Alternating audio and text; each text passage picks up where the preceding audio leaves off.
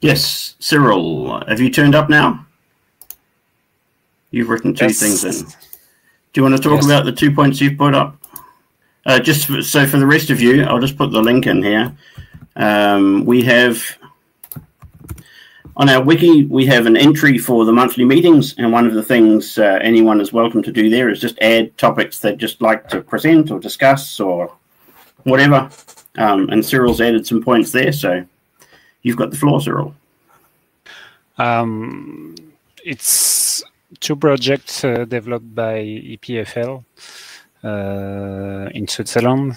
So it is a university uh, in Switzerland at Lausanne and uh, there is one project which is uh, from uh, which have been in initially made for Geneva State, Uh, which is uh, made for uh, building. Uh, how do you say it?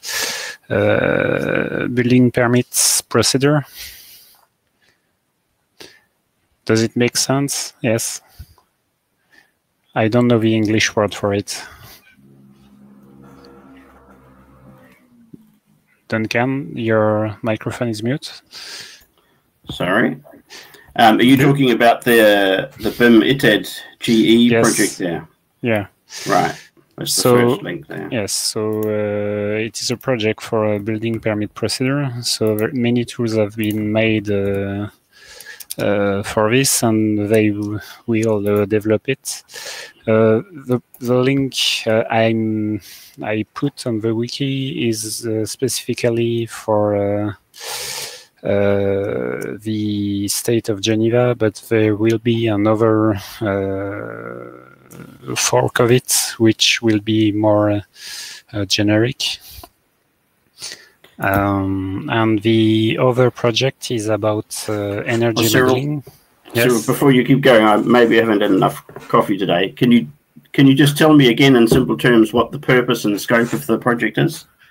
I, I don't know it very well because I did not did not work on it. Uh, the idea is to be able to check uh, things you need to check during a, a building permit procedure, uh, like uh, uh, I don't know uh, I, I don't know exactly, but to, to be able to see the volume of the, of the building, to see the uh, area, uh, the uh, trees around it, many things uh, like this.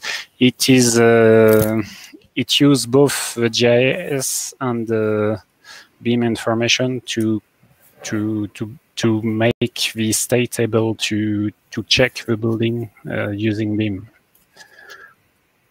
But exactly, uh, conformity checking to local regulation. Yes. Is it more clear? yeah, I'm just looking at the diagram now. They've got on there. Yeah, but I, I, will ask. Uh, I, I I'm not able to to say exactly what it does, but uh, I will ask uh, my colleague which work on it to to to describe it uh, better before the next uh, month. And I, I, see that it uses the XBIM toolkit as well. Am, am I right in um, my impression has always been that .NET uh, applications are hard to port to other platforms. Is that correct? Uh, yes. Right. But it's not .NET. Well, it, it says at the bottom, uh, let's have a look here, that it uses XBIM, the XBIM yes. No, no, no. Uh, it says that uh, the XBIM toolkit has been tested, but the main part of uh, of the API is IFC Open Shell and uh, Ge Geometry Gym. Uh, so it uses Geometry Gym, Gem, which is uh, C Sharp. So yes, it's .NET, but uh, it also uses IFC OpenShell, and maybe in the future it will be only IFC OpenShell. Okay. Uh, yeah, I didn't notice that some of the headings are not in English. Uh, yeah. Uh, actually, I understand that you it's in French. Sorry. So the the last title, uh, BIM Server and XBIM Toolkit, is under title. Yeah. Yes. Other components which have been tested. So it's only docu for documentation and for uh, history purpose. Uh, but it's Three.js, uh, BCF API, MongoDB, and sysprojection, and the IFC shell and Geometry Gym. And the other project is about uh, energy modeling, uh, which is uh, actually the most common uh, exchange format which has been used uh, for 10 years now is the GBXML, which stands for Green Building uh, Extended Markup Language. but it has some flaws, and uh, when you have an IFC and you uh, you fill all, data for IFC, you want to be able to use IFC also for building energy modeling. And this is the purpose of this project, is to be able to send data uh, to energy modeling software using IFC. And uh, in this specific uh, project, uh, the goal is to be able to process the data required for uh, local standards uh, for Switzerland standards. Uh, right, using the okay, using the the the way that you have to do the calculations in Switzerland, yeah. Yes, exactly. Yeah. But I will present it. Uh, I will present it uh, further during the presentation next month. Yeah. Yeah. Okay, I've started a little list here because I've got I've always got some things I want to talk about. But um, what sort of things do people have that they would uh, like to ask or share or discuss today? And then I can just write them down. So if there's a lot of things, we can sort them a little bit. Um, I've been talking to a few people about um, DVG, DXF support, and talk to LibreCAD and I've been having some discussions and mentions some things on the forum about um, how OSArch maybe could be could be structured. So that's two things we could talk about, and I'd love to hear more about what's happening with building energy modeling, but that's a topic coming up later on. What subjects do people have, if there are any? And what about you guys from outside, people who are new to OSArch? Have you got some questions about who who we are and what we're trying to do, or or if we manage to communicate that on our website?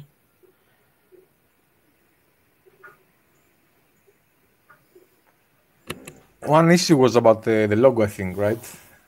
The, yeah, the logo. Jan uh, wrote. Uh... Yeah, exactly. We we finished the first round, and we could talk about what we do next. You go for it. Doesn't sound like we've got lots of things to talk about. Okay, so I can't share the results because I'm on my cell phone. But if you go, I can share it. What would you like to? You can just show show the results, maybe. Yep. I posted. It'll take me a minute to find it. Yeah. So we voted. There were about 16 people voting, I think, and uh, we didn't really agree on how many uh, designs go to the next round, but about three or four sounds about right. Uh, uh, they got the most votes anyway. These three three designs, and the question is what we do next. Uh, Duncan already proposed that we could try different color schemes, which I think is good. Uh, do we do more more variants, more options?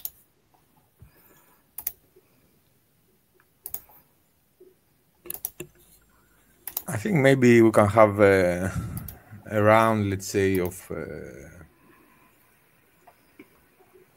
of uh, let's say. Do, maybe do we have some uh, strong opinions why we can't take any of those proposals? Because I know somebody mentioned some similarities with some other logos, maybe the similarity with the Open uh, Association or whatever they are called, Open Design. association. I, I don't think um, well, yeah, open source initiative. I think they're called. I don't think what we have at the moment uh, looks looks like theirs. Uh, there was also talk about the Airbnb logo, but w- what we have now doesn't really look like them. Doesn't look like that either.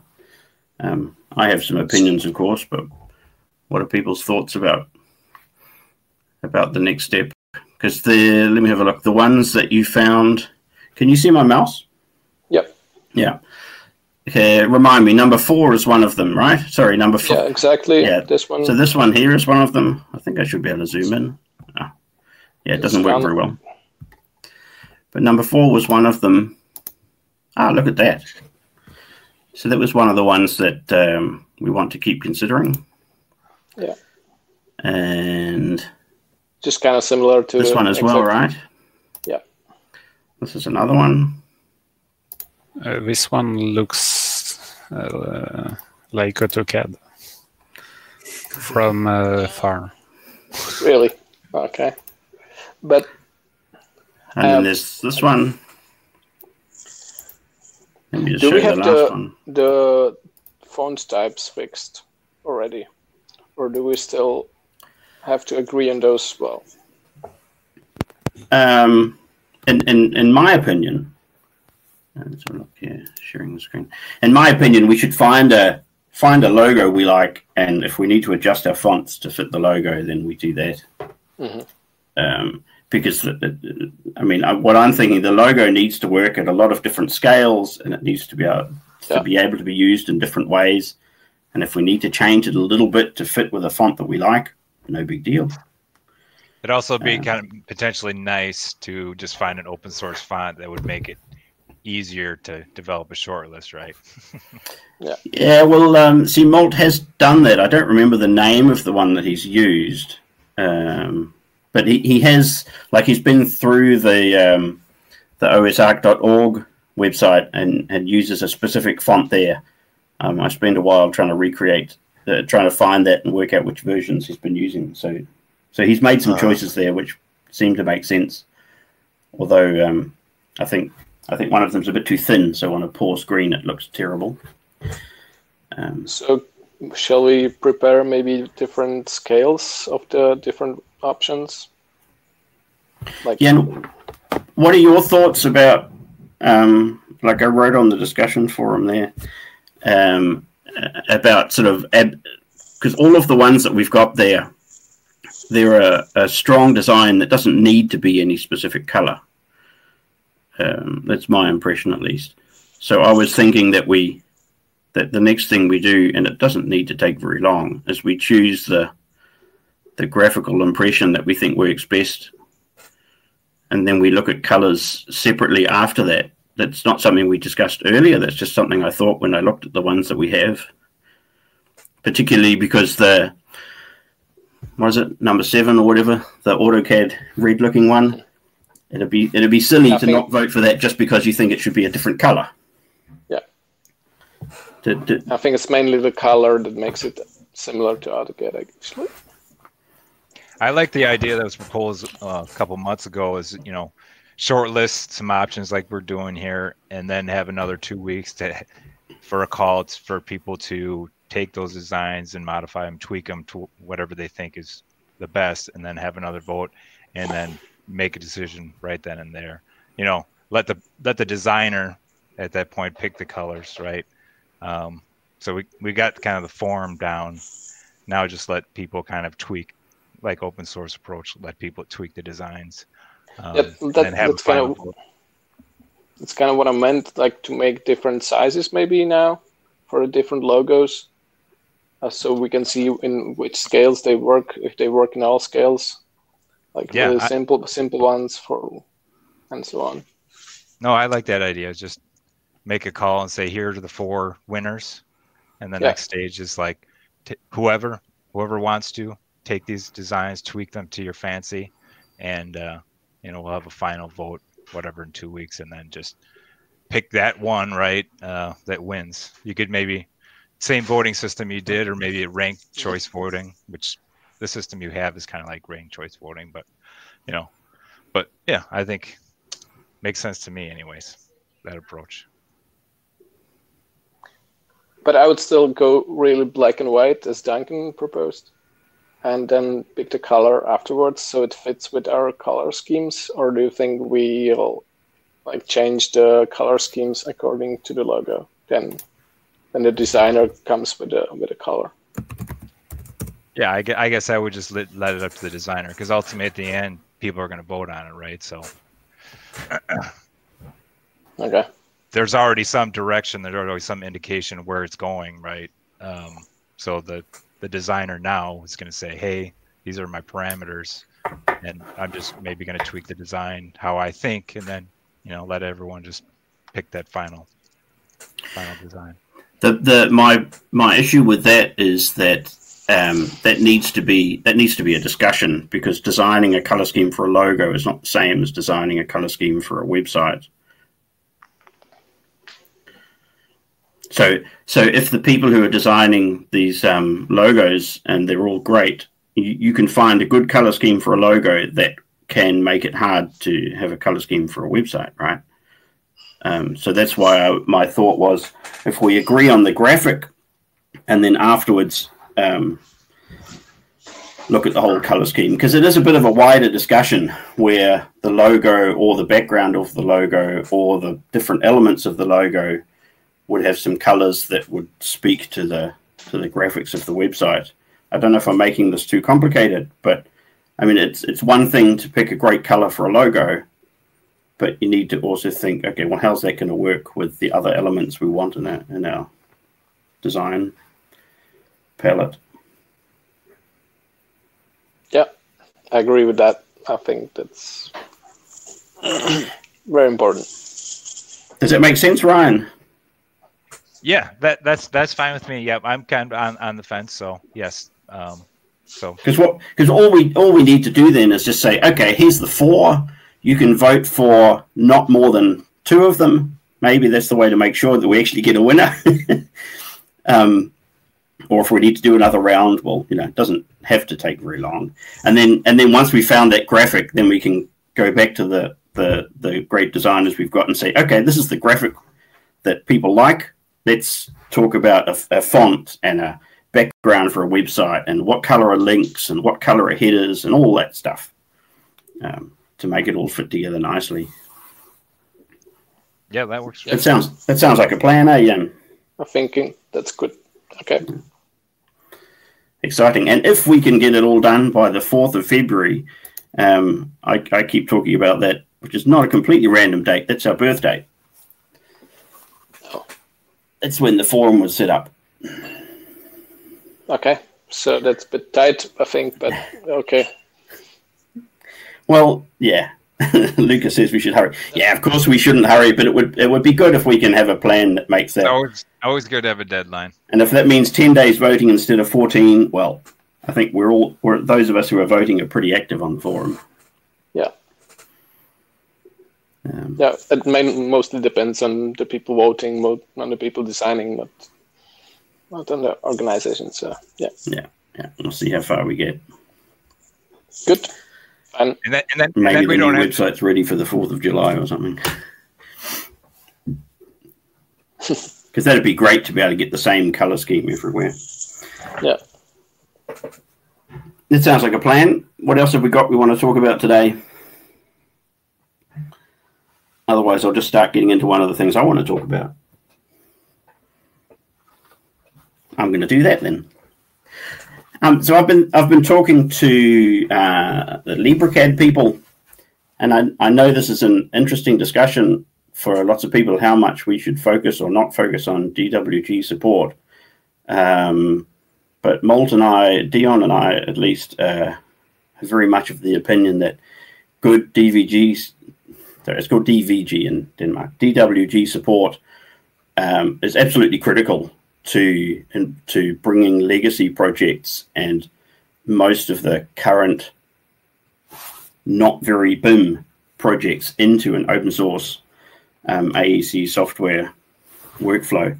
So that's why we've been talking to them and trying to support their work. Uh, and so, like four, about four years ago, they released um, LibreCAD uh, 2 as a release candidate sorry, LibreCAD 2.2 is a release candidate, which is implementing some new things. And then for four years, no releases. So we talked to them and sort of pushed a little bit, and maybe that helped because now they've released uh, a release candidate two. So if anybody needs to open and modify DXF or DVG files, it can't save to DVD. But anybody, if anybody needs to work with those file types, um, absolutely go and try it out so we can make some bug reports and help them get close to a to a final release of LibreCAD. LibreCAD is a fork of QCAD. Um, and LibreCAD, the interesting thing with LibreCAD is it has a very long and very, I suppose, dedicated would be the word, group of supporters um, who've used it for a long time for laser cutting and engraving um, and CNC work and stuff like that. Um, so, but one of the problems there as well, so that they're also doing uh, LibreCAD version 3, but that's a complete rewrite, and that's GPL v3. Um, but I was talking to one of the developers of that, and one of the things about that is they've it's been designed in a much more modular way, so that so that you can use parts of it inside other software. Um, it's supposed to be an MIT license, but they've somebody fucked up at one stage, so they're trying to work out whether they can go back to the MIT by removing some code or what to do. But so so that sounds interesting. Um, and then there's the Libre DWG project from Free Software Foundation, which, um, as far as I can tell, is the best free DWG DXF and DXF DWG to SF, SVG uh, libraries. But because it's um, GPL v3, it hasn't been hasn't been taken into very many projects. But FreeCAD uh, FreeCAD version uh, 0.19 in the in the recent app images that uses LibreCAD, sorry, Libre DWG. So again, if you want to test the um, the quality of DWG support in FreeCAD, specifically the Libre DWG project, try importing some 2D DWG files in a, in a recent version of FreeCAD. Um, so that's for anyone who agrees with me that high quality DXF and DWG support is important. That's some of the things that we can do to help improve that. Has there been any development on DXF import for for Blender? Because that's pretty old, right? The importer for Blender.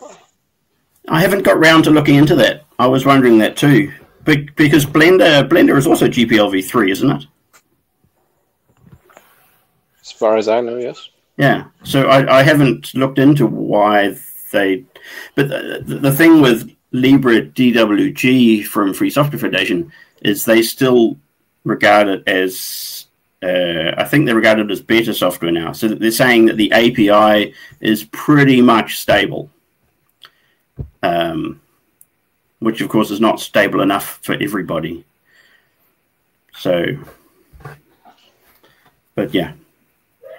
So if anybody knows who to talk to at Blender to find out, because if, if Blender started looking at it and discovered that it's a lot better than what they have, but maybe a bit unstable, they have the resources to fix that problem. Um, and I know the um, uh, Rainer, I think is his name, the guy who's who's working on it, he's doing work on, and now we're getting out of the area that I actually understand, but he's working on ACIS support so that um, DWG 3D files uh, can can start be start being a reality. And as I understand it, that's a that's a big task, and it's going to take a lot of work. Yeah, I didn't see any point there. But uh, also, I was wondering in the discussion what's with IFC, 2D IFC. Can can we not just use that in the future?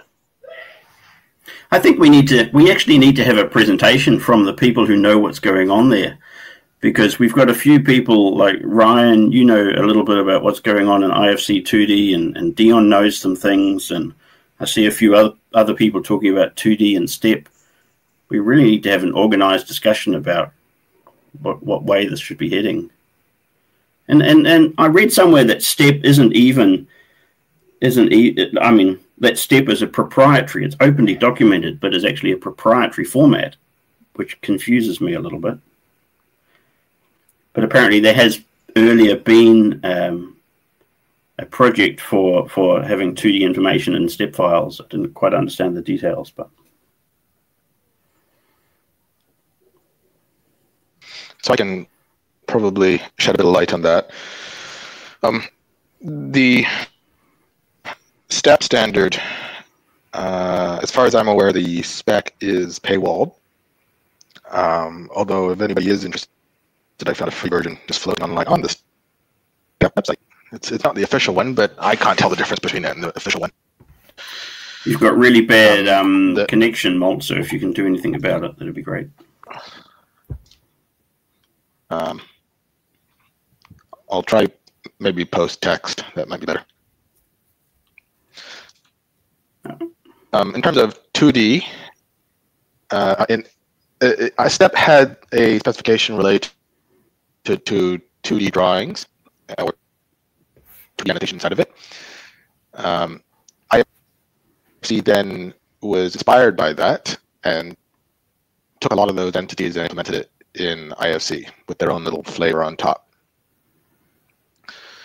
And then Building Smart removed a bunch of that, uh, uh, which is nice. But the few that they left is enough to uh, do a bunch of things. So um, that's the current state of affairs. The biggest difference, I guess, between this and um, and and the DWG side of things is that IFC tries to to encourage uh, 2D annotation to be linked to BIM objects because it is inherently a, a BIM based uh, uh, schema. Whereas in the CAD world, you don't need to do that, right? You can just have lines on layers. So it's it's really not so much a technical limitation as it is a um, just the, the whole approach. Can people hear what I'm saying? Yeah, we can hear you. It's just a bit hard. We can hear you. Yeah, Ryan. Yeah, I think so as long as it is possible, as long as Dion's camera is turned off, I don't think we can do much about the. Well, I was just curious if, like, uh, just I actually don't even know if, like, having other people have video streams, uh, you know, affects the audio somehow. I I have no clue, but just a question.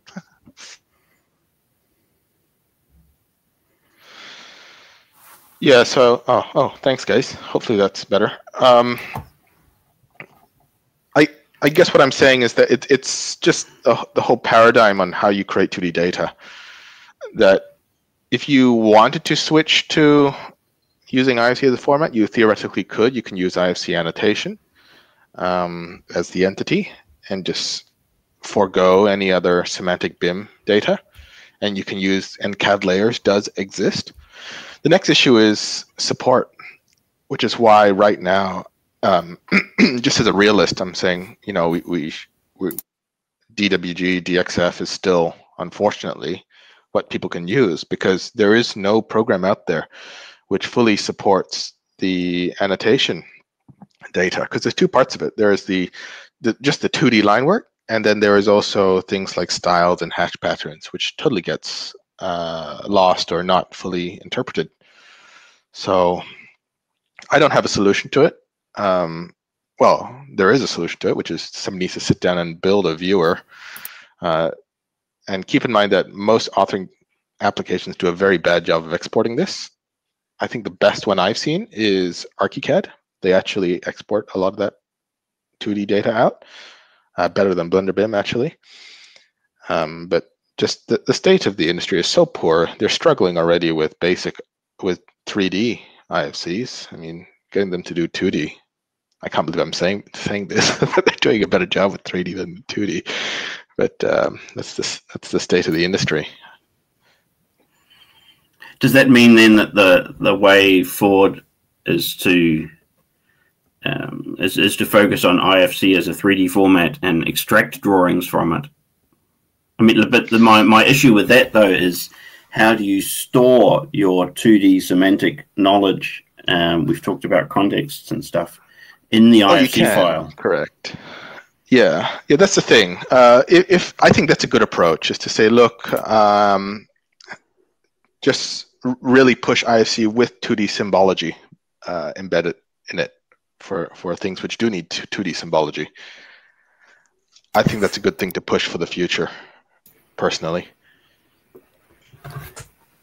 Can, can IFC can IFC files contain SVG information? Like like for the aspects of 2D that IFC isn't born to deal with, can it function as a container for for the stuff that it can't deal with natively? Uh, I don't think IFC is a container of anything really, um, but it, when it comes to 2D, I think IFC can um, contain everything that it needs to. Like, there's not too many. Maybe, maybe I'm I'm speaking out of turn here, but I don't think there's much in 2D that it doesn't already support. There are a few things which buildingSMART took out, like semantic classes for dimensions and like things like radial dimensions and all that. But with the improvements happening in the BlenderBIM construction docs um, discussion, Thomas and I, who has also been working on 2D documentation from IFCs, has been agreeing on uh, standards or conventions to replace to to, to achieve it. So, short, short answer is, I think IFC can achieve pretty much everything that you'd expect from a 2D drawing. It just takes a bit of work to standardize um, with the people who are actually implementing this stuff. I think that would be an interesting discussion. I love that you're talking um, with Thomas about kind of developing a, a, standard. It'd be nice to get you know maybe Antonio into the conversation as well and on adopting that burgeoning standard that you're you're looking to do, or at least have Antonio uh, understand the discussion or where. Which, which Antonio are we talking about? Uh, the IFCJS Antonio that just gave right the one right here. Yeah. Because mm-hmm. I by the way, you know, oh, go ahead. Uh, just a heads up to everybody in the room that any of the stuff being done on Blender BIM, and especially now with the with the whole rewrite, is agnostic of Blender. So there's a huge amount of code sharing which could theoretically happen between Blender BIM, FreeCAD, IFCJS. Uh, even if I, I, I know that IFCJS uh, sometimes cannot do a lot of code sharing because they, they have to process everything client side.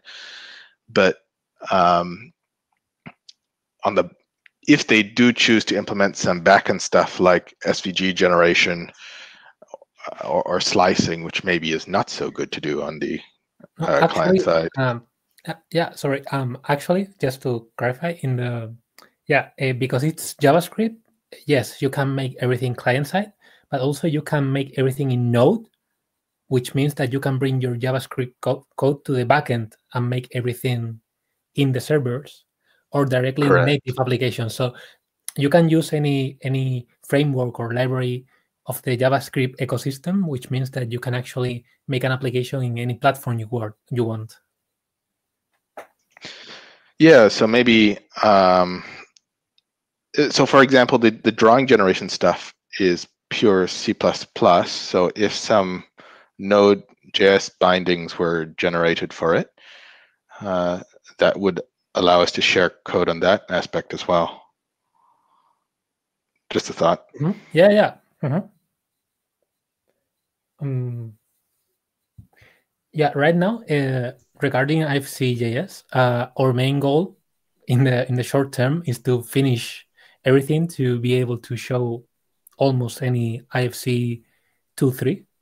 But yeah, um, from my side, I'm completely open to to make any collaboration. So perhaps if if there's perhaps we can I don't know um, if there are specific proposals we can write them down and see how can we actually in the detail of the code how can we collaborate yeah i think the uh, just just really quickly in the call because this is actually a longer discussion that we should take offline um, mm-hmm.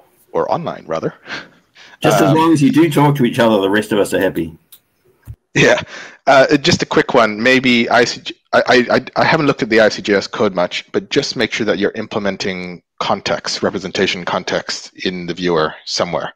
Because I know that uh, sometimes when people first implement IFC somewhere, they forget to take into account contexts and they treat it just as, oh, we'll just display this geometry. Um, and that and you know that that, that that's good for a for a quick geometry viewer, but it really hurts them in the long term if they want to really support what IFC can offer. So I certainly made that mistake when I first did Blender. FreeCAD made that mistake too. So it's just just a heads up.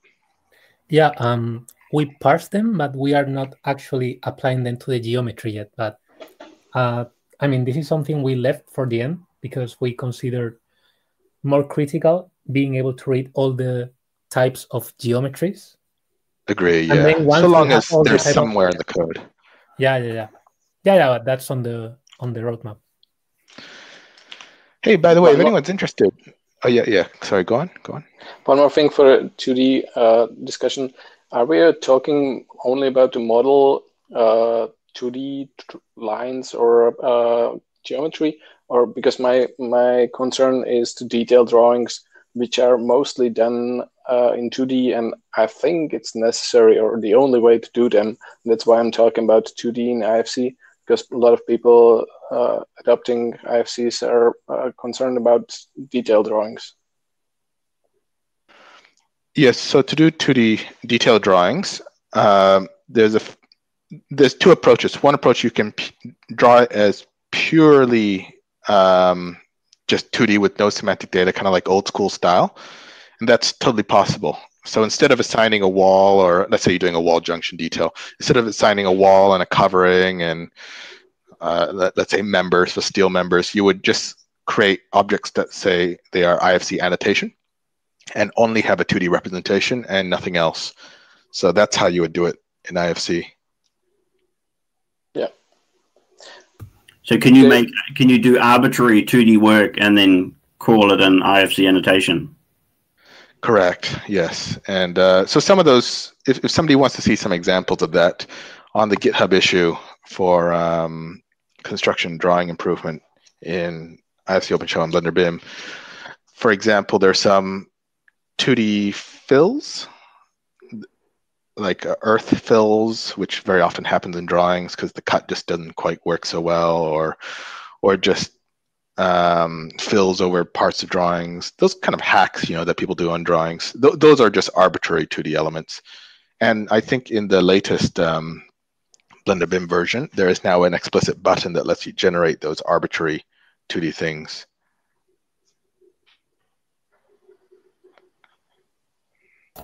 Cool. There's plenty of stuff to keep talking about there. Quick one, rewinding to the DWG DXF. Uh, I didn't fully understand. Are, are you saying that Blender can start using LibreDWG? Like, was that license issue solved? I, I didn't quite get that. Well, no, it was just, if I remember correctly, Blender is GPL v3 and Libre DVG is also GPL v3. But I may remember Uh, wrongly. I think Blender is GPL v2 or later. GPL v2 plus, yes, that's right. So I think that means that they're not allowed to bundle Libra DWG because then they would have to bundle the whole Blender as um, Blender GPL 3 Yeah. but I but if somebody creates an add-on, then I think that works. That's what I'm not a liar.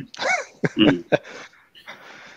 If anybody is interested, I have compiled uh, LibreCAD 3. In fact, literally just now, like five minutes ago. So I can share my screen and people can take a look at the state of uh, LibreCAD 3 if anybody's interested. Well, you know I'm interested, but I don't know if there's more people that are interested than us two. Please Sure. do. All right, that's that's a few other people. So I'm going to share my screen here. So I hadn't Hopefully you can heard of LibreCAD. What- What's the relationship between LibreCAD and FreeCAD? Are they related? No, LibreCAD's pure 2D. Okay. So, so, so just to give you an idea, this is LibreCAD 2, uh, which I'm showing on my screen. Hopefully you can see it. So this is just pure 2D, kind of like AutoCAD. Um,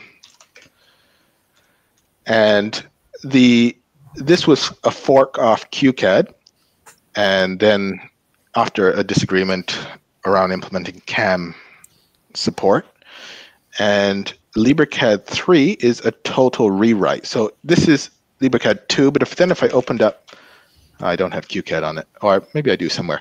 But uh, QCAD and LibreCAD look very, very similar. That's because LibreCAD is a fork of QCAD.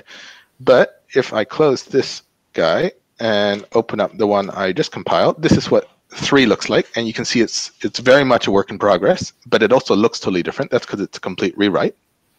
So um, I'm kind of new to this too, so I'm just gonna like click on a. I've, I've noticed that. See when I click that it sort of goes back to the origin. It's it's. I assume that's part of their debugging or something. Um, they they have some snaps, but it's there's only four, so it seems to be missing a lot. But I noticed that some of these do more than one thing. So see, this one seems to be sort of extrapolating off the end of that. So I don't know if that's kind of like part of their new smart snaps thing that AutoCAD has that they're trying to do. Um, I can't seem to draw any orthogonal lines. Maybe, maybe it's missing. It seems like a very strange interface. Person, this is just me giving my personal first impressions on it. Like I don't like this. Just doesn't seem right to be down here. My understanding from talking to um, Ries was that it's it's a lot like it's a lot more modular than LibreCAD 2. So all that kind of stuff like do I like the interface or things like that should be um, much easier to, to fix because things are not like an yeah uh, okay this is a public recording um, That's okay. it's, it sounds like the, the, the approach the approach to LibreCAD 3 is, is much more flexible and and will um, sounds like it'll lend itself to a, a, a really good development um, life. Yes, uh, I would like to correct about uh, Blender license. It is bundled as GPL3, as stated on the website. Oh, Blender's GPL three now. No, not the code source code, but the release. The binaries are released at GP, as GPL3, so you can Ah, bundle with uh, last paragraph. Look at the last paragraph. Okay, okay.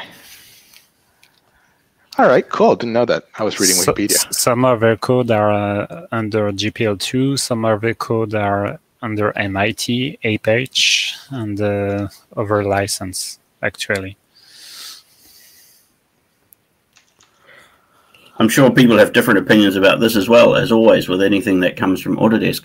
But given that the LibreDWG guy is working on ACIS for 3D DWG implementations, it'd be incredible if we had a plugin to Blender that could make use of whatever he's done so far, so that people can actually test it out and uh, and with real files and stuff. So that's just a wish I'm sending out into the codeverse.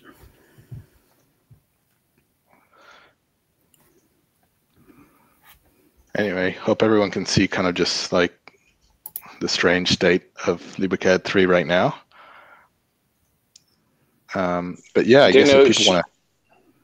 Uh, Should there be any functional differences, or is it mostly the coding that's been changed? Because it seems to function pretty much exactly the same as uh, LibreCAD 2. Well, as 2D CAD, there are only so many different ways of implementing 2D CAD. Paper space? Ah, good, because th- like that's, one of the new. Big yeah. problems. Yeah, that's one of the big problems with LibreCAD and um, QCAD Community Edition. So, like, we- we don't currently, as far as I've been able to tell, there's no implementation of uh, DWG that that has paper space sorted out.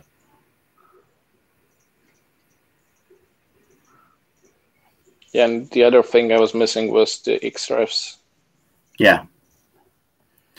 So there are some there are still some really big holes in um, DWG implementation, but um, we need to get a we need to support a product getting in front of people so they use it and um, make these requests. I love those wiggly lines; they're so cool. I just love to understand the mathematics behind them.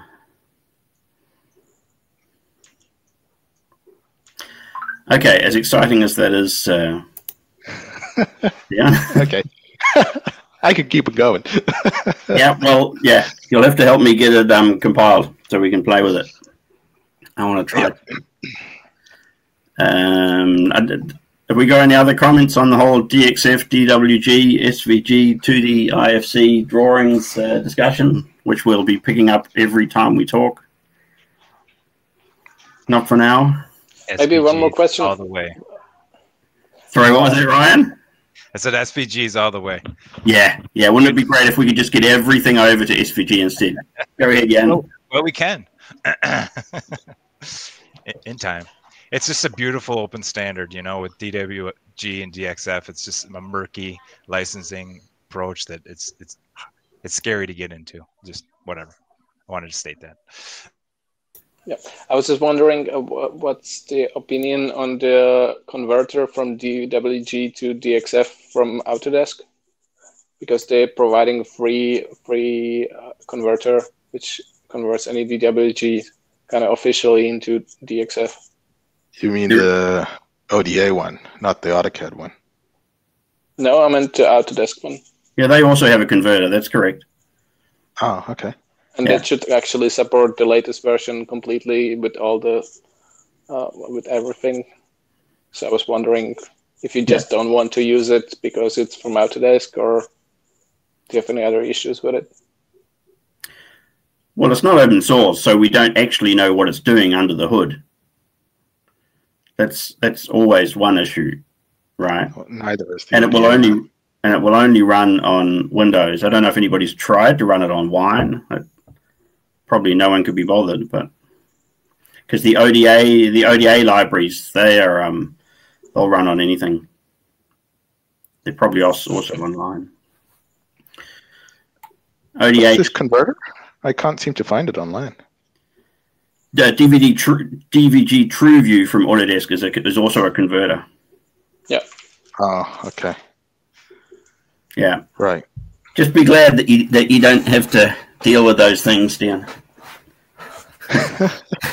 Every time AutoCAD comes out in a new version, everyone has to start learning where those converters are because they start getting sent files in a format they haven't got.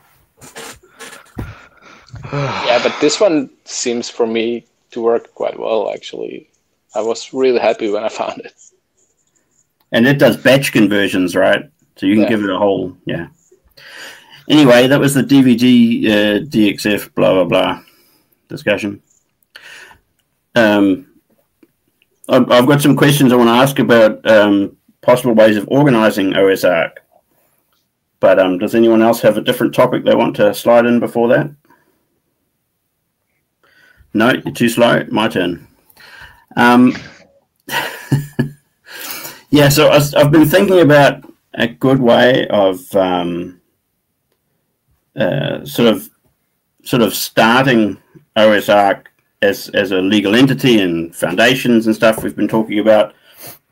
And I was reading a bit more on um, OSGeo's website, um, and also thinking about some of the projects that we know, the open source projects that are in an open source license, but they don't really have a community around them.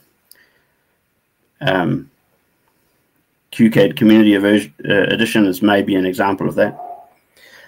Um, so I was looking a bit more around their website, um, and I started thinking that one thing that could be really good, and I've made a post on the on the discussion forum about this, is maybe a way to start, and maybe the time to start as well is when we've got like a list of core mature projects and a list of stable corporate members who are willing to pay something. Doesn't have to be a lot initially.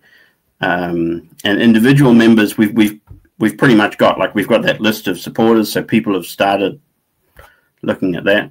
Um, so, so I guess really I'm just asking if people want to think about whether that makes sense, whether that's the sort of structure that would serve the purposes that we're we're looking at, um, and what what projects and what organizations, uh, sorry, what projects and what corporations, and maybe also academic. I haven't quite worked out that, but um, would be appropriate. You can see in my post I've come with some suggestions, and even even just with the list there, we we can quickly get up to six or seven companies that I think would very happily say, yeah, well, here's a little bit of money. We'd love to have our logo on your website, and we'd love to put your logo on our website. Um, yeah, so that's just some thoughts I had. Um, yeah, it's part of the general discussion of we we need to be a, a, a few more people who want to spend time on that sort of thing, so that we can start some kind of um, organization. That was all.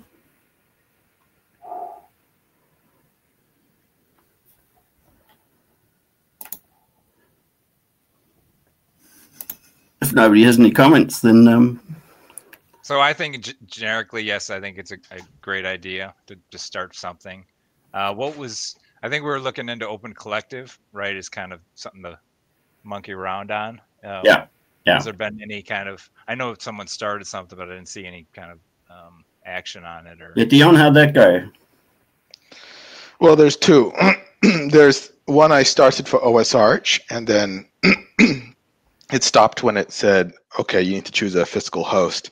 So there's three options. So before you go any further on OS on OS Collective, Op- Open Collective, sorry, um, you need to choose how you manage your money, and that's where I kind of stopped. There's three options. Number one, you manage it yourself with your personal bank account.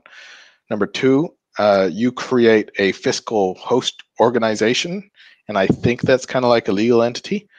Um, or option three, you find an existing legal entity that you that acts as an umbrella, and you just go underneath them. So, in option three, the, there is an option if you are an open source project yourself, you just say, "Here is my GitHub repo," and it will automatically check the number of stars you have. And I think it's if it's above hundred stars, you just get automatically approved, and you just you start collecting money tomorrow.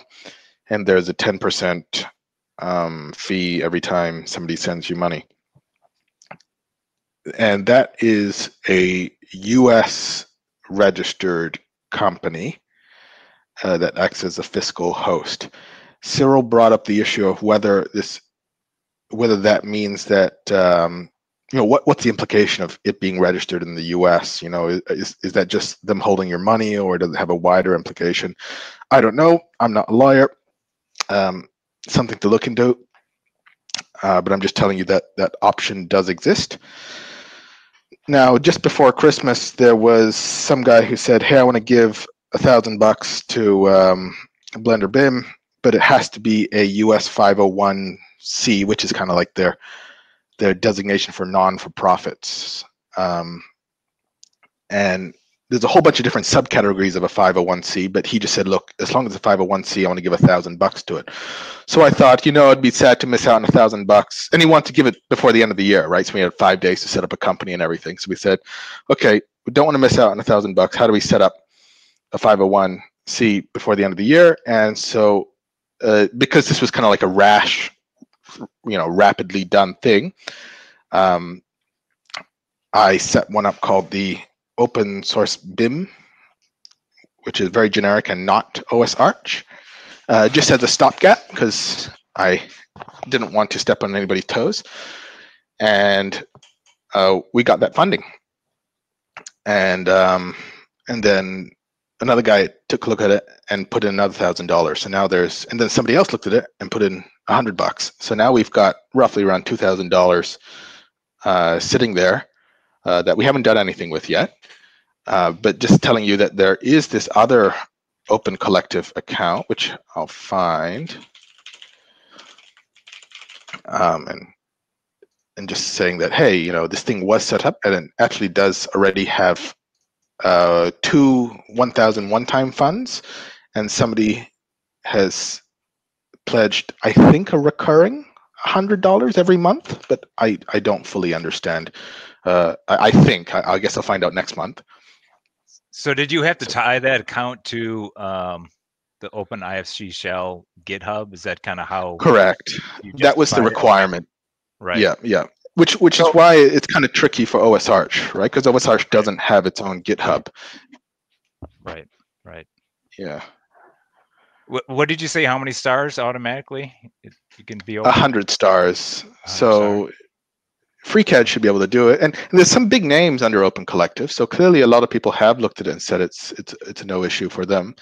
But uh, um, but I'm not saying that that's a, a justification. I'm just saying that at least it's not a like an unknown type of thing where you're a bit uncertain whether your money's going to suddenly disappear tomorrow. Right. Well, I think it's a good idea to figure out some way to try to set up something on Open Collective, uh, whether that's you know through an existing GitHub project or whether we just uh, you know do some more paperwork um, to figure that out. Um, I think it makes sense. I you know, the whole ten percent that seems pretty steep uh, margins though for the service, but Uh, I've got a comparison. Um, let me see. But I mean, even just Patreon and PayPal, they all take a, a, a chunk, and they don't offer actually anything except a thing you can click on. Whereas Open Source Collective, they um, that sorry, op- Open Collective, of which Open Source Collective is a, a, a piece. Um, they have a whole lot of fiscal tools and transparency, and yeah. So so they so they would be able to provide. Um, and I mean, okay, it's an, it would be an interim solution, right? Probably, um, but they would they would be able to have uh, all that paperwork that that none of us want to do. I'm guessing. I don't want to. You know, all of that paperwork required to be transparent about what's happening with the money. Um, they make that easy. By the way, I've, when somebody asked for, I've got a bunch of money, I want to give it to Blender BIM, I responded with, you know, things are kind of floating right now, but here are four options, and I and I got some pros and cons. So there's GitHub sponsors. Uh, the pros about GitHub sponsors is that there's actually zero fees um, for individuals only, and that's that's the con. Uh, you can only support an, an individual. There's also no transparency around how much funds are collected and how the funds are spent.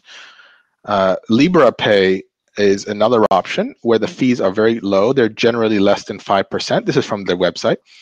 Uh, Well, they don't it have their own fees, so it's only it's only the bank transfer fees. correct, correct. So I think GitHub sponsors kind of like maybe GitHub absorbs that cost. I don't know. By the way, GitHub sponsors for teams, I think right now it's also zero fees, but in the future, I read on a blog post, on a GitHub blog post that they will it will become 10% and that's in the future but right now during their beta phase or something it's it's still zero fees so Liberapay you can both do individual and um, and fund but the fund is kind of like not a real fund it's more just like it just divvies up to the individuals from my understanding uh, it only supports recurring donations um, which may be a bad thing for somebody who wants to contribute. Same with GitHub sponsors, also only supports recurring donations. Uh, it is transparent on how much funds are collected, but not transparent on how the funds are spent. Uh, there's a Bountysource, which is really good because it targets a very specific issue um, and is very transparent about the funds raised and exactly what you're spending it on. But I think there is a 10% withdrawal fee. Uh, and and on top of that, depending on the transaction method used, there is an additional fee on the withdrawal method. Um, and then you have the open collective, which if you choose the 501, the the the, op- the open source fiscal host, that's 10% fee. Uh, that, but if you create your own fiscal hosts, I assume that varies, and I have no idea the range within it varies. Anyway, that's that's four different options. Um, and uh, sorry, the last one is also very transparent on both funds collected and funds, um, uh, how the funds are being spent, and also seems to be the only one which really supports an actual company, whereas the first three are more directing to individuals, unless GitHub Teams. Sorry, no, I take that back. Yeah, GitHub Teams should support a group. Anyway, again, I'm not a lawyer. I'll paste I'll paste my pros and cons that I've uh, read up online on the forums, and maybe that will help. So dumb question, you know, of those and kind of the research I've done, I, I'm leaning towards I would lean towards Open Collective. Uh, you know, it's an open source backend as well. Uh, dumb question: How hard would it be for OSArch to create a GitLab repo? We have a couple already, um, or on GitHub or whatever. They just create a generic repo. Just so that we can all star it. Well, exactly, exactly. but you know, our intentions are, are good. Yeah, you know. So if that's the only thing, and that that would seem to be the quickest way of doing it.